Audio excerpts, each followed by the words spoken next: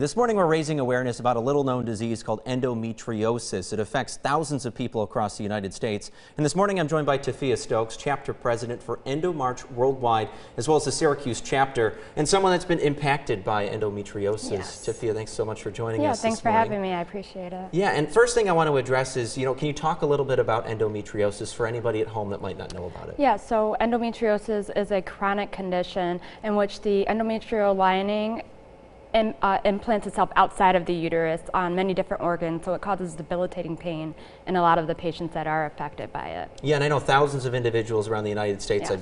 uh, hundreds of thousands even, Yes. are affected by this. And, you know, as far as the Syracuse chapter is concerned, you guys are fairly young. Yes. Uh, you're celebrating one year. Absolutely, yes. And, uh, you know, you're trying to raise more awareness and raise some money as well with an upcoming event that's Mm-hmm. happening uh, next weekend, right? Yes, um, so it's the uh, Party with a Purpose All Yellow Affair for our one year anniversary at Funk 'n Waffles.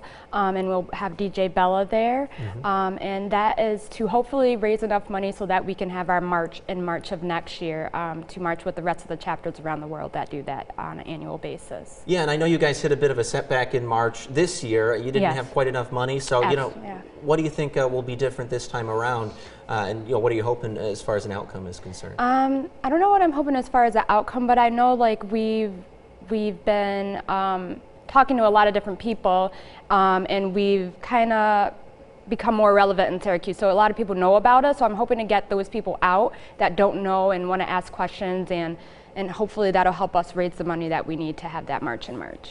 Okay, well, Tafiea, thanks so much for joining us. We're going to take a quick look at the uh, information about that event as well. thank Again, it's happening next weekend, Saturday, September 7th at Funk 'n Waffles on South Clinton Street. It's from 3 to 7 p.m. A great chance to get out and ask any questions. Again, if you don't know anything about endometriosis, individuals like Tafiea will be there uh, to answer those questions and help uh, raise awareness and some money for that march in, uh, in March of next year. Yes, right? absolutely. Okay, Yes. well, Tafiea, thanks so much for joining Yeah, us this thanks morning. for having me.